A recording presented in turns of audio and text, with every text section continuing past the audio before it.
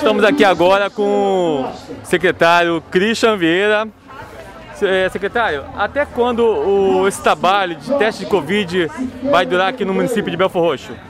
É, olá para todos os ouvintes, ou, é, internautas, né? Vai para a internet. Esse trabalho vai durar praticamente quando durar a pandemia. O objetivo da Secretaria de Saúde da Prefeitura de Belfor Roxo é de testar pelo menos 100 mil habitantes para nós termos um, um, um, padrão maior da curva do Covid, mais correta, mais precisa. E posso deixar tranquilizar todos os moradores de Belfor Roxo que está vendo que já passou por vários bairros, que vai chegar no, bairro deles também, porque é uma ordem do prefeito Vaguinho, que essa ação corra os quatro cantos de Belfor Roxo. Hoje nós estamos no bairro da Prata, amanhã vai dar no Jardim Redentor, sábado na Praça de São Vicente, então essa ação tem sido um sucesso, muito bom a curva do, do, do Covid aqui em Belfor Roxo, muito na, na descendente, isso é uma, uma, coisa muito positiva.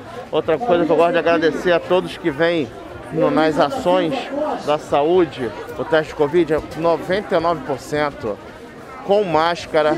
O que está sem máscara, ele vem até a barraca, nós distribuímos máscara, entendeu? Então está muito positivo.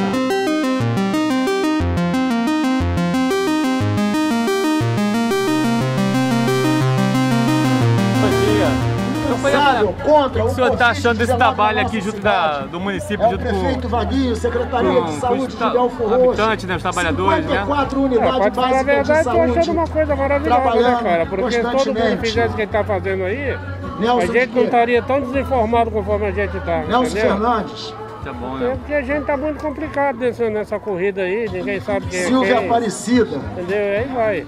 Quando você se Silvia protege, Aparecida. 50% ou mais não usa máscara, não, Silvia não se dá o respeito, fica enfiado dentro de Gabriela baixo, de enchendo a Salles cara. Reis, Entendeu? Enquanto a gente se protege, muitos já na moda. Gabriela de Salles Vamos embora Reis, e quem se prejudica é né, a família em casa, as crianças.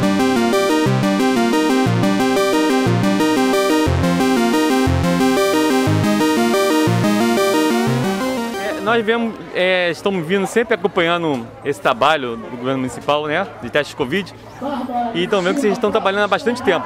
Vocês já têm mais ou menos, quantos vocês já ah, conseguiram atender a população? Quantos, quantos cidadãos para fazer fizeram o teste? Até ontem, na nossa contabilidade, mais de 13 mil pessoas fizeram o teste. Então, bastante cidadãos de Belfor Roxo, bastante munícipes.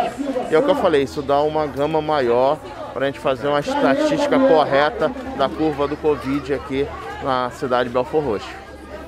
Tá ótimo, muito obrigado.